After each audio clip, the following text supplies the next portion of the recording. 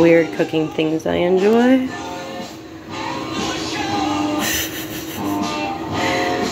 Listen, don't judge me.